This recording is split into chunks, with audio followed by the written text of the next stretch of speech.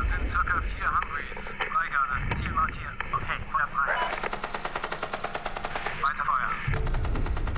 Heute wurde ein Video geleakt, auf dem anscheinend ein Hubschrauber der US-Armee auf unbewaffnete Journalisten schießt. Zwölf Millionen haben das Video gesehen. Wollen Sie immer noch behaupten, das wäre nur eine kleine Website?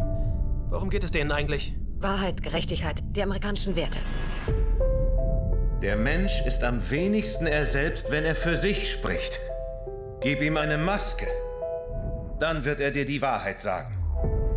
Zwei Menschen, ein Geheimnis. Der Beginn jeder Verschwörung. Mehr Menschen, noch mehr Geheimnisse. Aber wenn wir einen moralischen Menschen finden, einen Whistleblower, jemanden, der bereit ist, diese Geheimnisse zu enthüllen, dann kann dieser Mann auch das mächtigste und repressivste Regime zu Fall bringen. Diese Bank versteckt Milliarden Dollar auf illegalen Konten. Wir kriegen die Schweine dran. Der ehemalige Chef der größten Bank Islands wurde wegen Betrugs angeklagt. Wir haben eine milliardenschwere Bank platt gemacht. Das ist verrückt. Mut ist ansteckend.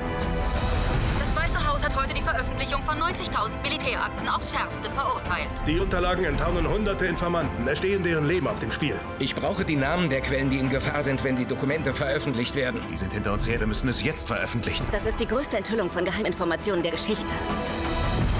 Der Guardian, die New York Times, alle stehen hinter euch. Dadurch wird sich alles verändern. Er ist kein Journalist, er ist eine Bedrohung der nationalen Sicherheit.